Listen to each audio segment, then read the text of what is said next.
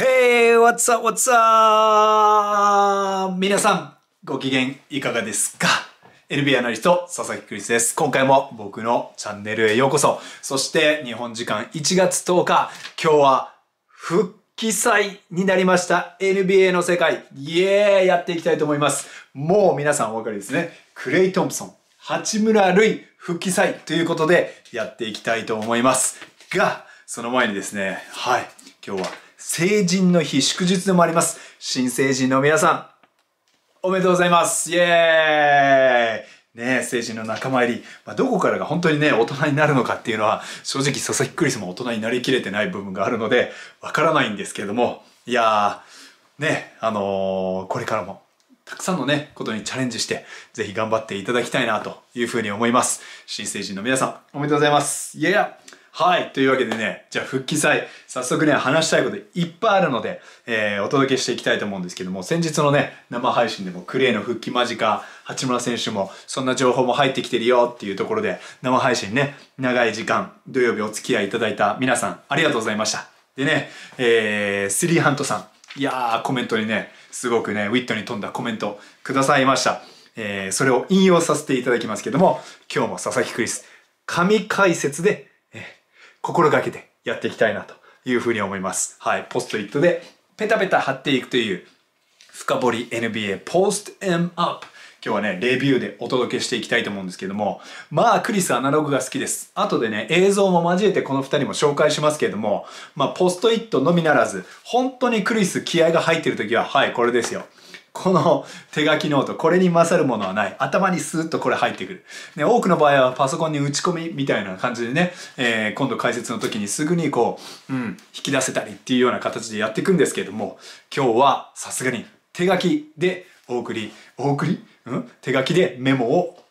しっかり取りました。はい。そんな中で、クレイ・トンプソンの復帰ありましたね。ゲームの時間としては日本時間8時から八村選手、ワシントン・ウィザーズ、そして10時半からゴールデン・ステイト・ウォリアーズなんですが、まずはクレイ・トンプソンのお話からしていきましょうかね。クレイ・トンプソン2年半。いやー、待ちわびましたよ、彼の復帰。2019年の NBA ファイナルゲーム6での、まあ、えー大怪我。左膝の前十字靭帯。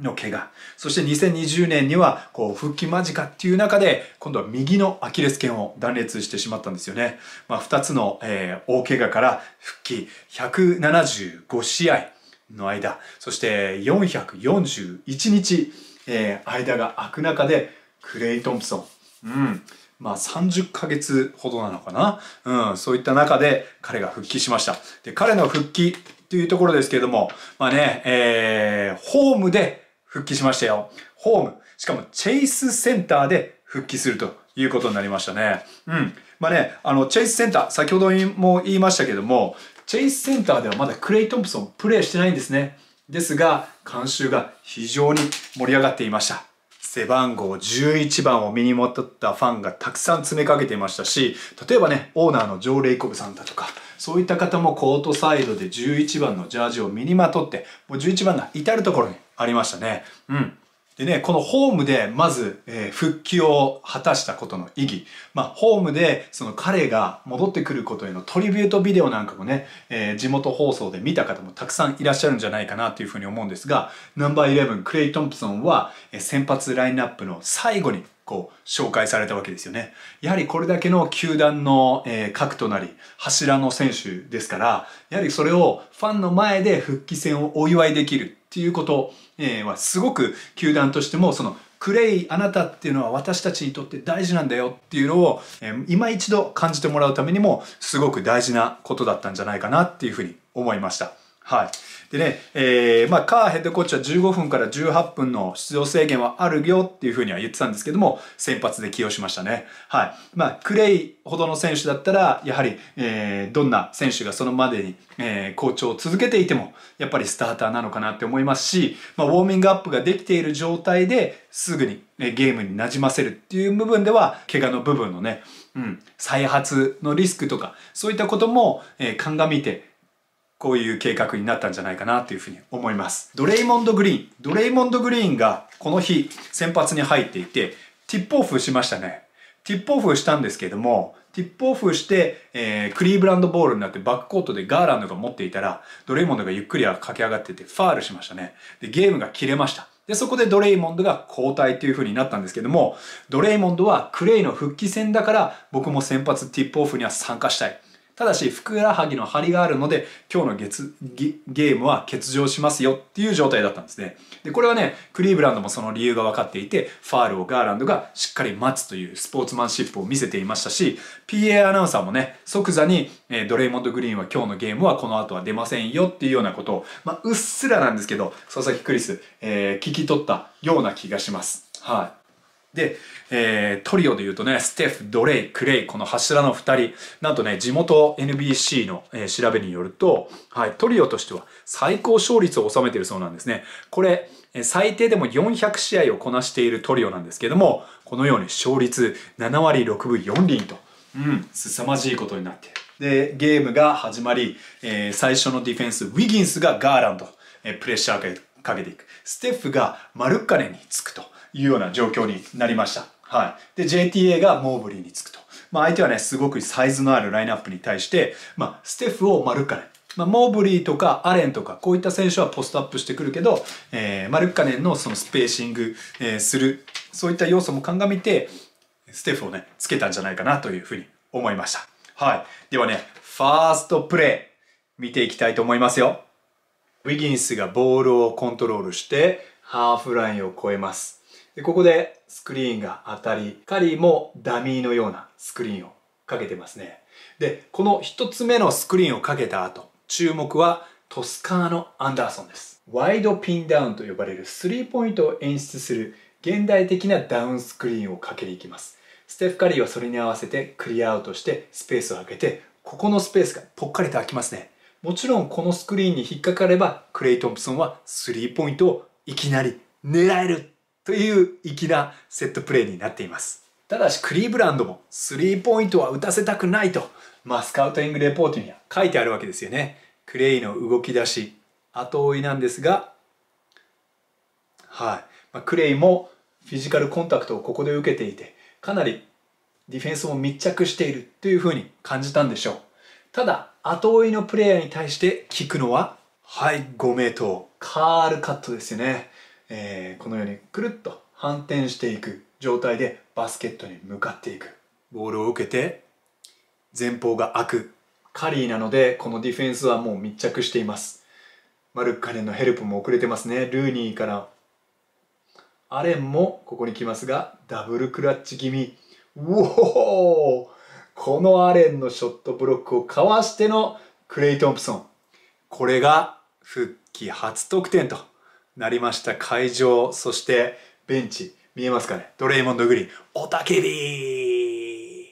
うん、クレイの状態良さそうですね。しかもクリーブランド、リムプロテクションという意味で、相手の制限区域内のフィールドゴールパーセンテージはリーグで一番低く抑えているチームに対して、クレイ・トンプソンがあのレイアップ。うん、素晴らしかったですね。次のプレーでも全く同じプレーをします。今度はクレイ・トンプソンはスリーポイントを選択しますが、これが外れて。で、1クォーター7分37には1回ベンチに下がります。まあ短めの起用ですよね。でもここでもオベーションを受けたと。さあ、2クォーターに入ってクレイ・トンプソンがどこで戻ってくるのか、非常にね、注目していた方も多いんじゃないかなというふうに思うんですけども、2クォーター43、チームのサイドラインアウトオフバウンズからのプレーで、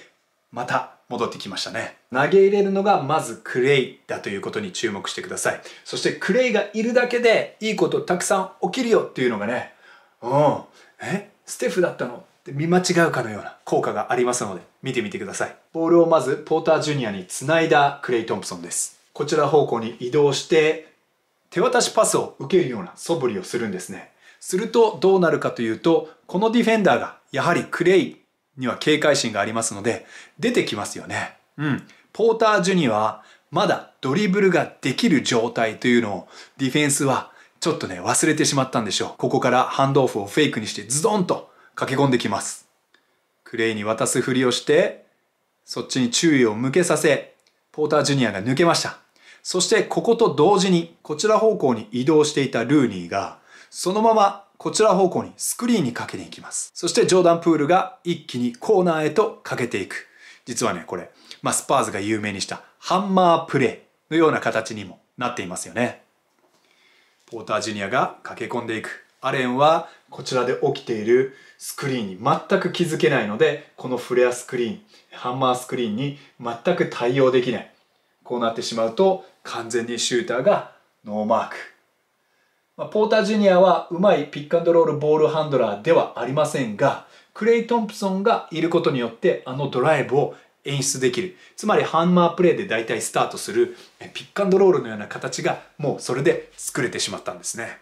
はい、これはね、完全にデザインされたセットプレーだったと思うんですけども、次に、これはね、あえて紹介もしませんけども、2分52にはスイッチして引き出したジャレット・アレンに対して右から左へのクルスオーバー、鋭くズバッと、そこから切れ込んでいって、パワフルなドライブからのダンクですよ。しかもね、ヘルプディフェンダーも2人、マルッカネともう1人誰だったっけな、飛んでましたよね。うん。まあね、あれを見て、まあお客さん大盛り上がりなのはもちろんなんですけども、僕、佐々木クリス的にはですね、こう、心理的な恐怖心。大怪我から復帰してる選手ですよ。そういったものもなくなってるんじゃないかなっていうふうに思いました。そういった意味ではね、すごく良かったなっていうふうに思いますし、まあ、えー、コンディショニングだとかそういったものを整えてきただけではなくて、やっぱり大怪我からの復帰ってメンタル的にも相当ハードルが大きい。そのハードルをしっかりとね、チームと、そしてクレイ、みんなでね、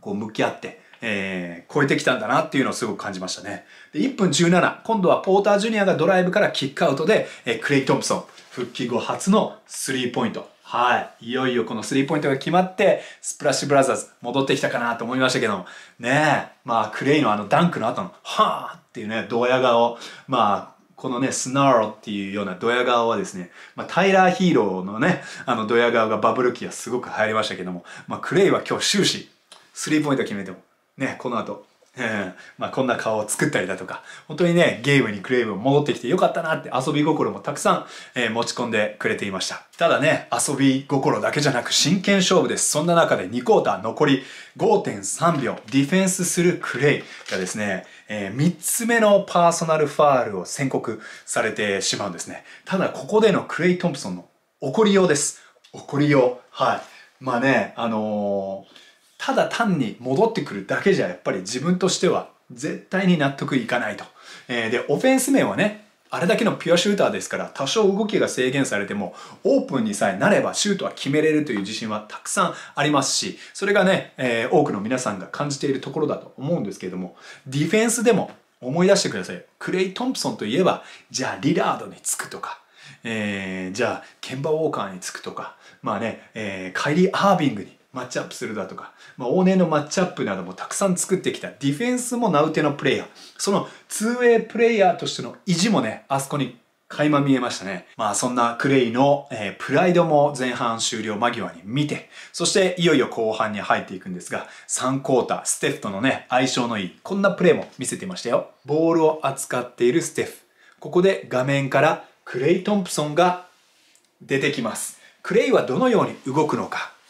このシューター2人がね、スプリットスクリーンで掛け合う、そういったアクションなんかもすごく難しいんですが、クレイはこちらに進み、スクリーンをかける、素振りだけします。実はここ、駆け抜けていくゴースティング、すでに NBA 解剖学でも解説しています。クレイが駆け抜けていくとどうなるのか。クレイのマークマンもステフに一瞬警戒心を強めていますよね。ここでこの2人の間にセパレーション、距離感が生まれるわけです。セパレーションが生まれた状態で、まあ、ある意味横方向のクローズアウトが生まれてる。このままね、クレイがズドンとドライブできればよかったんですが、まあ、ここはディフェンスもよくリカバリーしましたね。クレイもスリーポイントを一瞬考えたんでしょう。ただここからもクレイがウィギンスとの受け渡しをちょっとやるような素振りをしつつドライブに切り替える。これにもさすがスティーブンス、ついてきました。ただし、クレイらしい、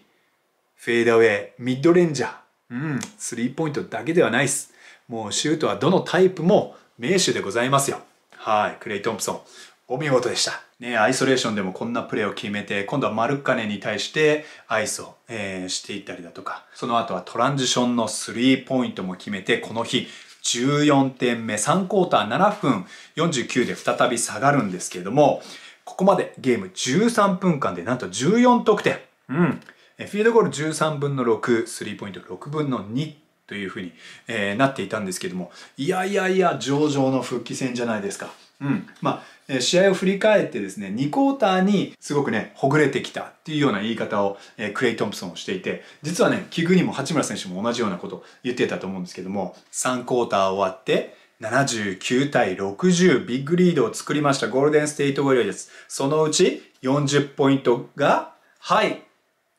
スプラッシュブラザーズによる得点でした。さあ、4クォーターはですね、9分39に戻ってきて、ステフ、クレイ、ペイトン2世、ポータージュニア、イグダーラ。はい。ポータージュニアはその後ウィギンスに変わったりするんですけど、めちゃくちゃスモールラインナップですね。ウィギンスの方がポータージュニアより背が低いので、まあ、多分ウォーリアーズが敷ける一番背の低いような、えー、マッチアップを敷いてったんじゃないかなというふうに思います。これは面白かったですね。まあ、ゆくゆくいろんなことを試行錯誤しながらっていうところで、うん。まあ、クリーブランドサイズがあるけども、逆に僕たちについてこれますかみたいなことをね、えー、試していたんですけども、まあ、クリーブランドはロンドンのスリーポイント3本でしたかね、トントントンと決まって、うん。まあ、13点差ぐらいのところをね、結構楽観視できるような得点をしていたんですけども、95対85、10点差まで、えー、詰められて、こう、タイムアウトを取るというようなシーンにもなりました。ただ、まあ、えー、まあ、クレイ・トンプソンもね、そういった大事な時間帯を、この復帰戦でもプレーし続けることができましたね。うん。でね、あのー、4クォーターはですね、気になったのは、ルーニーとの相性。まあ、気になったというよりは、すこぶるいいんですよね。本当に素晴らしかったと思います。ケボン・ルーニーも29分29の出場で22リバウンド、キャリアハイ。うん。でね、最終的にはこのゲーム、ディフェンスでウォーリアーズも勝利したと思うんですけども、まあ、先ほど言ったスモールラインナップでは少し追いつかれたっていうところで、まあ、ルーニーを投入。そのルーニーが気を吐いてくれたっていうのと、まあ、ゴールデンステートウォーリアーズね、2015年の優勝時からそうですけども、例えばボーガットだとか、様々なセンター使ってきましたけど、ザザ・パチューリアだとか、まあ、スクリーンをかけてくれる選手だったり、手渡しパスをしてくれる選手との、まあ、クレイ・トンプソンとの相性だとか、通面ゲームもすごくいいものがこの4クォーターでも見て取れました。まあ、改めてになるんですけど、クレイ・トンプソンの復帰戦楽しかったなっていうふうに思うんですけども、何より本人が楽しんでましたよね。ステフ、それからクレイを見ていると、やっぱりバスケットをできる喜び、上位というものに溢れてるんじゃないかなっていうのは思いました。バスケはね、本当に楽しむためにあるんだ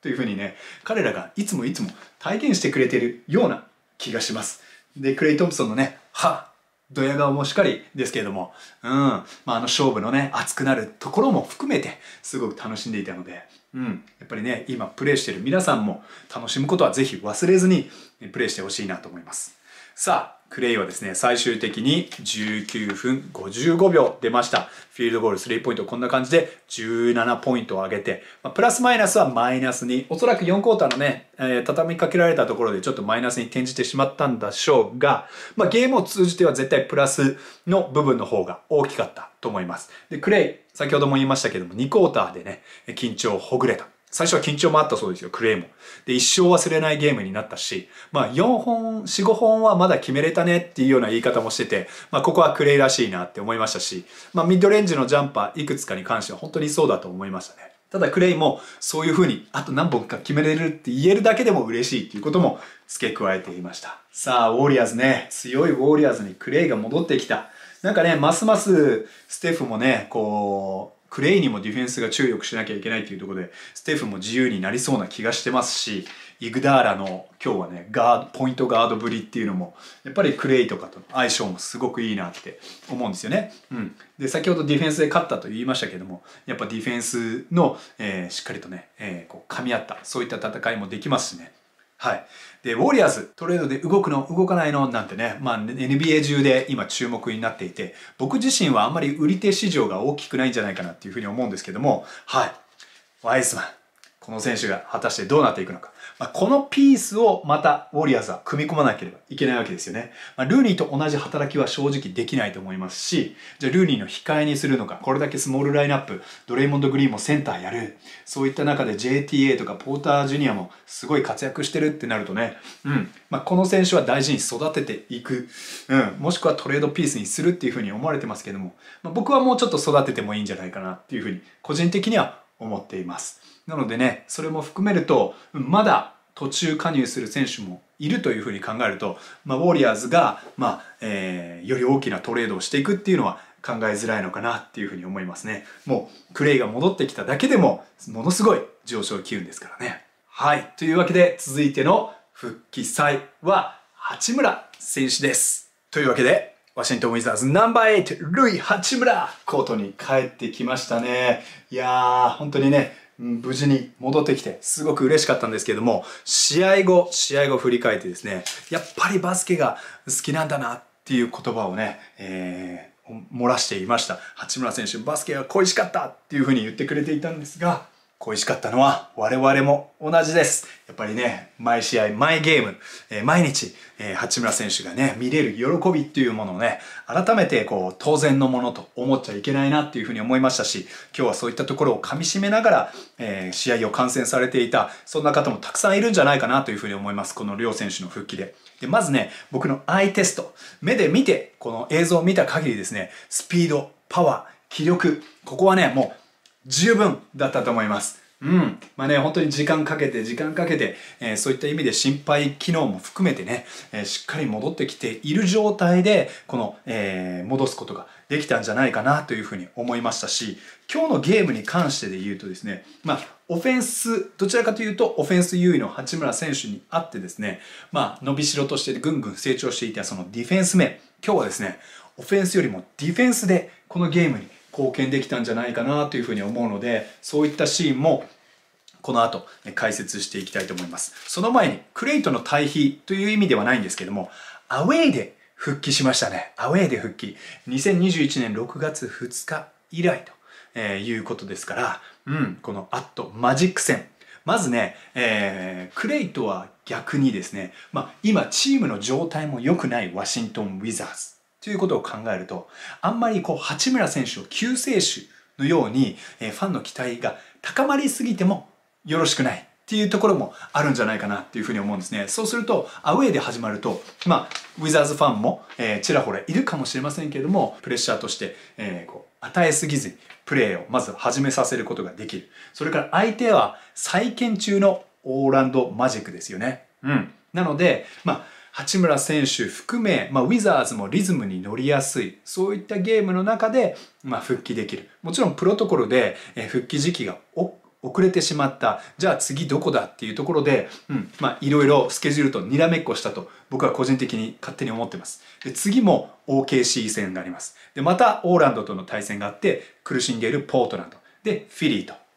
なのでね、直近のゲームは少し優しいということも考えると、まあ、八村選手、ゲーム感なども鑑みて、割とね、個々のマッチアップでは八村選手の方が優位な局面も再建のチームに対しては作れるんじゃないかっていうことも期待してるんじゃないかなというふうに個人的には思いましたね。そんな中、1クォーター、6分30、いよいよ来ました。八村選手投入。でね、クーズマがセンター。八村選手がパワーフォワード。デニ・アブディアがスモールフォワードという、まあ、フロントコートで、まず始まりますね。1クォーター、まあ、最初のショットはスリーポイントミス、えー、だったんですけども、うん、まあ、逆側からですね、まず八村選手がカットしていきました。それによってちょっとプレーがほぐれたんですね。で、逆サイドでまた展開が始まって、最終的に逆サイドに切れていった八村選手にボールが渡ってきたので、その前の動きが、まあ本当に僕は秀逸だったなというふうに思いましたね。で、少し後にディフェンスリバウンドからボールをプッシュして、ここもね、非常に躍動感ある感じでした。うん。ただね、その後、直後に、チームの、え得点にはならなかったんですが、うん。ここはね、躍動感もあったっていうところは見て取れて、まあ、ひとまずはほほっとしたんですね。はい。そして、えー、2クォーターに入って、8分46、えー、今度はですね、センター起用される形で、八村選手がガフォードと交代して入っていくんですね。うん。で、今度はバンバとマッチアップしているので、間違いなくセンター起用というふうに言えると思うんですけども、ここで彼のディフェンス、光るものがありました。はい、バンバ選手のマークを受け持っている八村選手、センター起用されています。ワシントン・ウィザーズの面々がピックアップして相手はテレンス・ロスにボールが渡るでテレンス・ロスがボールを受けた後相手もこのようにボールスクリーンアクションに入っていきますその後の八村選手の動きに注目していきましょう。スクリーンが起きて、テレンス・ロスがアタックしてくる。八村選手はまずテレンス・ロスのドライブラインに入っています。バンバの飛び込みに対してビールが少しレイトスイッチのような形ですけどもスイッチして対応。ここでマークマンが入れ替わるわけですね。非常にスタンス低くしてディフェンス。このテレンス・ロスのショットが外れました。バンバもリバウンドを確保することができず、ウィザーズのボールになりました。さあ、ここで問題です。はい、スピードのミスマッチで終わると、逆に攻撃では何が生まれる？てってってってってってビールがボールを持って駆け上がってはい見えますかね？八村選手のマッチアップがここ。テレンス・ロスに変わっているんです。で八村選手今ね体でここを遮ってあわよくばビールからロングボール投げ入れてもらおうと。そういった考えもあったんではないでしょうか。ここはね、えー、ちょっとその距離感が合わなかったり、ロングボールは来なかったんですが、そこからポストプレーに切り替えますね。で、しっかり要求してました。うん。ミスマッチがあるのに要求しない、えー、手はないというところで、ボールを受けて、フェイスアップ。もうビールもね、いや、ここはルイにやらせよう。そんな感じだと思います。ミスマッチを使ってテレンス・ロスに対してアタック。この最初のコンタクトにもひるまなかった。さらにこじ開けていくようにバスケットの逆側までアタックしていってファールコール。これでフリースロー。今季初得点につながりました。さあ、今季初得点につながるディフェンス見ていただきました。次のディフェンスではね、スイッチアウトして RJ ハンプトンに、え少し抜かれてしまったりだとかしたんですけども、ちょっと2クォーターね、えー、ワシントンウィザーズ自体はドライブに対してちょっと脆さを、えー、見せてしまいました。ただね、えー、次なる得点シーンはですね、今季初の初のフィールドゴール、そんなシーンを見ていきたいと思います。ブラッドリー・ビールがボールを受け渡し、八村選手がトップで1回受け渡しして、え、スクリーンをかけたりしていますね。でね、いろいろモーション動いているんですけれども、どのスクリーンも、え、ダミーだと思います。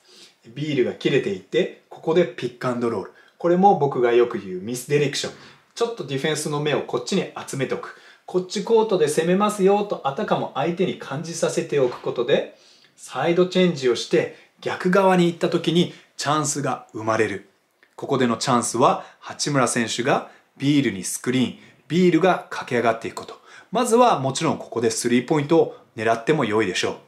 ただディフェンスも当然そういったことはさせたくない。このスクリーンが起きても激しく後ろから、え追っていきますし、バンバも出ていきますね。うん。バンバが出ていけば当然このスペースが空くわけです。これはルーキーシーズンから、え八村選手が得意としたブラッドリー・ビールとの合わせの形なんですが、もう一つ注目は八村選手が体の胸の面をもうすでにビールの方向に向けているということです。当然目線も向けています。まだスクリーンの途中で例えばこちら側を向いているとパスに対して早く気づけないですよね。なので今この状態に早めに入ったことは僕自身はすごくこのプレーの完成度を上げるためには重要だったんじゃないかなと思います。パスを流して受けたらもう右足がこの内側もう攻め込んでますよね。力強いそして素早いワンツーステップでした。このワンツーステップはダンクでなくても、えー、中高生の皆さんしっかり身につけておきましょう。はい。ファーストフィールドゴールはダダンワンツーステップのボースハンドダンクでした。はい、このダンクが炸裂した後、直後のオフェンスでまた八村選手得意の今度、左ドライブをバンバに対して、えー、仕掛けていきますね。5分58かな。これ残念ながらミスしてしまうんですが、ここの後、2つ感じたことがありました。まずはですね、ハッスルバックしました。レイアップをミスすると、大体5対4で攻められてしまいます。はい。バンバがノーマークになっているところ、後ろから必死に追いかけてファールしました。レフリーに少しだけ、うわってね、えー、ファールじゃないのっていう、えー、まあ不快感をあらわにはしたんですけれども、すぐに切り替えてハッスルバックした。このスピード、すごくスピーディーでしたし、ちゃんとあそこでメンタルを切り替えられた。ダンクを阻止する、えー、ファールをすることができたということ。これはね、えー、すごく、いいのかなというふうに思いました。それからゲーム感っていうところで言うと、まあ、スリーポイントすでに放って外してはいるんですけども、実はですね、うん、バスケットボール選手でゲーム感がまだ、えー、こう照準が合ってきてないなって僕が感じるのはターンオーバーとリム周りのショットです。実はレイアップがなんかね、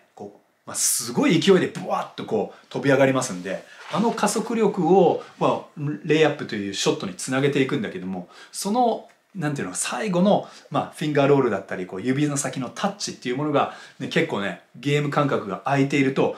意外とイージーショットが、決めきれないっていうところで、まあ、あそこもね左ドライブは見事にしていましたのでレイアップの確率なんかも、今後全然キレはあったので上がっていくんじゃないかなっていうふうに思います。5分35にはボードの裏でパスをね、クーズマから受けてフリースローをまた獲得、まあ、ブロックされずにしっかりとフリースローを獲得する技術もありました。そして次なるプレーはですね、スイッチだけじゃないんですよ。スイッチバックも大事なんです。八村選手センター起用するとピックアンドロールがスイッチして守れるという利点もありますよね。当然それがチャンピオンシップレベルに到達するまでにはまだまだ連動を高めていかなければなりませんが、コール・アンソニーについてる KCP、そこにスクリーンに来るバンバ、八村選手です。ここをスイッチするのでよく見ていてください。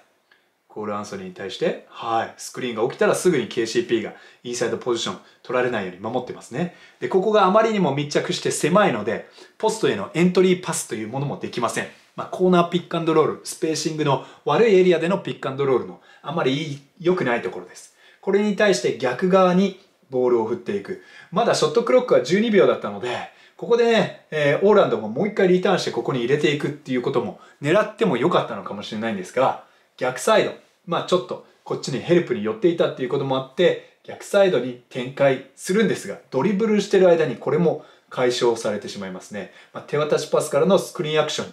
なっていこうとするんですが。はいここです。八村選手が何やら手を挙げてますよね。はいこれは KCP に戻れ戻れというシグナルを送っているんですねこのスイッチに対してのスイッチバック元のマークマンに戻ることこれは相手の脅威が少ない時にやらないと意味がないこの絶妙なタイミングで八村選手はスイッチバックを指示。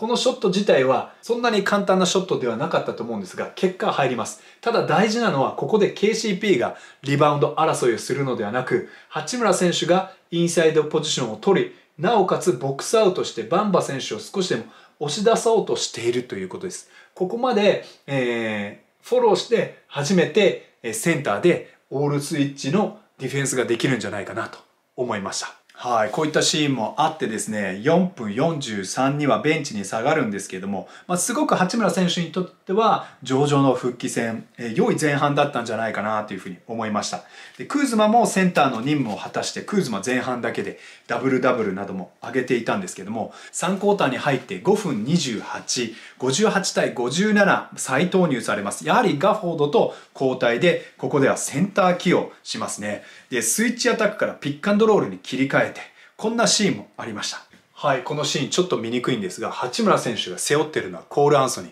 つまりスイッチで外角の選手を守った後に、ボーンと前線まで駆け上がってる。KCP もそこを見て、ミスマッチがまずつけるのかどうかを見定めようとしています。このミスマッチにボールを投げ入れるんですが、オーランドマジックも淡くってダブルチーム来てますね。はい。前半からの反省点、修正した部分でもあると思います。このダブルチームにすぐにパスして、えー、有効なショットが打てるようなスペーシングにはなっていませんでした。困っている八村選手。ここからドリブルアウトして、まずはプレッシャーリリースしていきました。はい。もうショットクロックが10秒。こうなってくるとね、オーランドも頑張ったと言えるんですが、そこで起点を利かして八村選手がスクリーンです。これはセットプレーでも何でもない。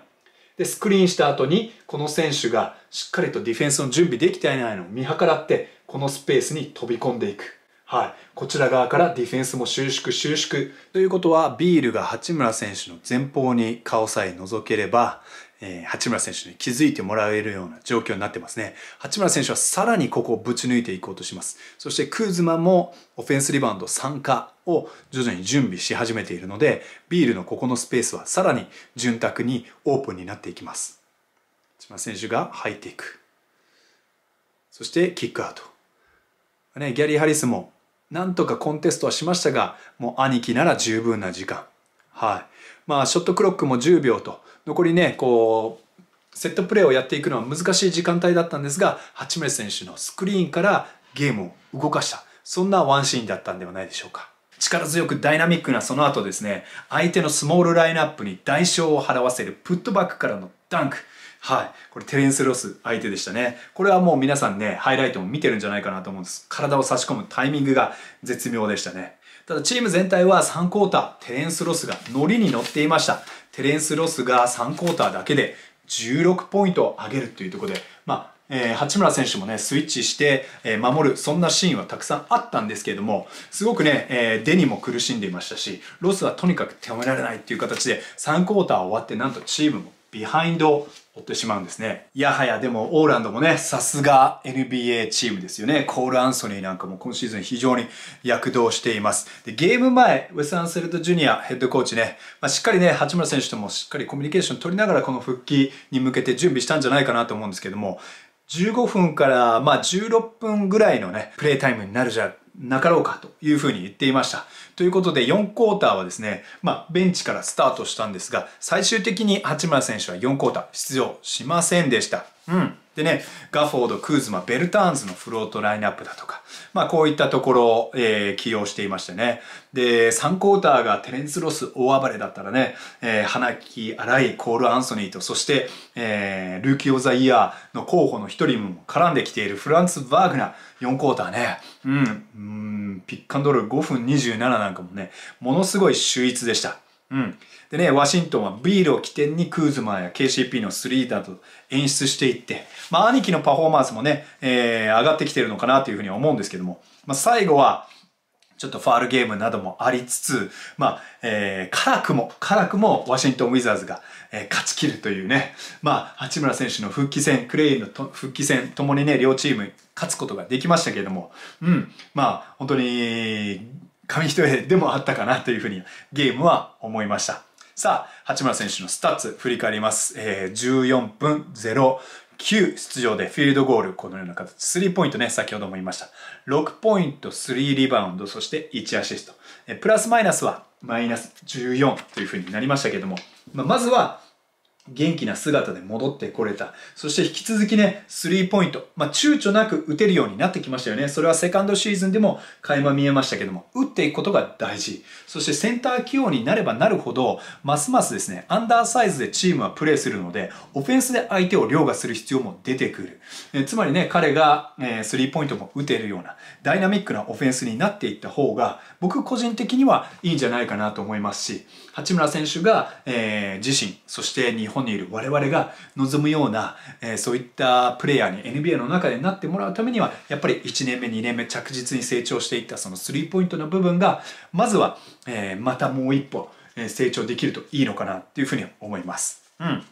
でね、前回生配信、えー、ご覧いただいた方、ね、いろいろスターターで八村選手戻すべき、そうじゃない、ベンチから戻すべきっていう、いろいろ、えー、議論もさせていただきましたけども、まあ、クーズマはね、今日も、えー、27点、22リバウンド、キャリアハイ。うん、クーズマはパワーフォワードやってよし、センターやってよしっていうような形で、本当チームにとってはなくてならない、えー、選手になっているので、なかなかこの時点でスターターっていうのは、えー、考えにくいよねっていう、えー、ところは生配信でも言いました。そしてね、アウェーでの復帰と合わせて、まあそのベンチからの復帰も、やっぱりね、その過度な、え負担を、え彼に負わせないっていうところもあったと思うんですよね。停滞している、えディフェンスだとかを一手にこう解決するよっていうような、えそういった選手にあまり印象付けない方が、八村選手にとってはいいというふうに、えー、コーチ陣たちも判断してるんじゃないかなというふうに思います。何せね、昨日までの直近、今日のゲームの前の15試合でオフェンシブレーティング18位、ディフェンシブレーティング26位でしたからね。うん。でね、このディフェンス振るわない部分で今日、八村選手がスイッチディフェンス見せた部分は僕は期待できると思います。でね、えー、時折あの映像でも解説しましたけども、チームのオフェンスのトランジションが非常に少ないです。5番目に少ない頻度です。ディフェンスでは13番目に多く与えてしまっている。まあ、ここのね、トランジションディフェンスも締めなきゃいけないと言ったらいけないんですけども、ディフェンスから走ること、こういったことがもっとできるだけでも、まあ、オフェンスレーティングも解決できますし、八村選手がうまくこうセンター起用も織り交ぜてディフェンスを向上させることができれば、もっと走っていけるのかな。まあ、ディンウィディね、それからビールがなかなかプッシュしないっていうのはあれど、まあ、そういったプレーにも期待したい。クーズマとの話にちょっと戻るんですけども、じゃあ、先発はクーズマに譲ったとしましょう。はい。まあ、いずれ八村選手がまた勝ち取るかもしれませんけども、ただですね、まあ、勝ち取る、勝ち取らない。このプレータイムで言うとですね、この近道、特に僕はね、試合終盤残り5分5点差、このクラッチラインナップで出場できるか否かが一番の信頼度だと思うんですよ。はい。プレーオフではね、えー、昨シーズン、えー、クラッチタイムのプレーオフのコートにも立ちました、八村選手。えー、その中で、僕はですね、クラッチラインナップに出るために、クーズマを蹴落とすという表現が正しいか分かんないんですけども、それ以上に共存できることを見せていくっていうのは大事だと思います。まあ、アンセルド・ジュニアさんにとっても、えー、今年はチームを指揮する初年度ですよね。大きくこうチームが崩れるような失態はしたくない。そういった中で、えー、すぐに先発起用だとか、そういったことはできなかった、えー、と思うんですけども、まあ、僕今日のプレー見ていて、クーズマと八村選手は、まあ、それからクズマのプレータイムをね、すぐに八村選手に与えるっていうことは、まあ、今の時点ではなかなかできないと思うんですけども、今日のプレーを見てる限り、僕はね、お互いを補えるはずなんじゃないかなっていうふうに思いました。同じ、えー、ポジションをやっているようでですね、実はね、そのディフェンス、オフェンス、少しね、強みが違うっていうところも大きなキーになると思います。はい。まずはポジション別ディフェンスっていうところなんですけども、まあ、クーズマ1、2守れて3、4強くて5。5もできますよっていうぐらいですね。で、八村選手1ができて、2が、えー、よりできて、3ができて、まあ、ボールハンドラーに対するピックアンドロールディフェンスは少し苦しみますけども、アイソレーションは守れる。4、5、5は全然できますよっていうところですね。はい。で、デニは1、2、3。まあ、どちらかというと、まあ、えー、まあ、4番もできるんだけど、3、2、このウィングポジションの方が、えー、フィジカル的にもいいのかなっていうフィジカルの争いでね。で5番も今シーズンやってますけれども、頑張ってますけども、じゃあ実際多くプレーオフシリーズでできるかっていうと、そうじゃないと思うんですよ。そういった中でね、今日この、えー、5、4、3みたいな使い方とかは面白かったし、まあ、八村選手の方が5番守れるような気が僕にはしているので、ここで5番ポジションでプレーしていく。543みたいなのもありかなっていうふうに思いましたね。まあ、もちろん今日は、えー、ハレルもいなかったり、で、グレッグ・モンローにも、えー、ちょっとね、えー、頼りきれないっていうところで八村選手がセンターやったのかもしれませんけれども、僕はね、個人的に期待してますし、えー、センターというところで言うと、トム・ホーバスさんの日本代表のシステムで言うと、八村選手は僕はセンターになると思ってるので、たくさんやってほしいんですよ。うん。で、オフェンスの方も見ていきましょう。クーズマはドライブ、で、パス、で、ピックアンドロール、ボールハンドラーみたいな、順序で、まあ、えー、得意なのかなっていうふうに思うんですけど、八村選手はアイソレーションですね。ミドルポストからのアイソレーション、トップからのドライブ、えー、それからスクリーンでゲームも作れるっていうのは今日映像で紹介しました。はい。で、デニはパス、ボールハンドラー、ドライブ、みたいなね、こういった感じになっていくと思うので、